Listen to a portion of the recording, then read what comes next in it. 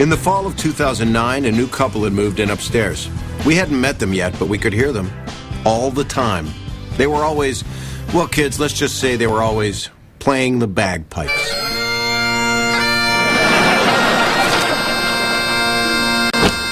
Okay, this is ridiculous. I can't believe those two are still bagpiping. I know. It's been six hours. Must be that tantric bagpiping that Sting is into. She keeps yelling sounds like he's bagpiping her pretty hard. There's a glass of water in my bedroom that's vibrating like Jurassic Park. You have neighbors!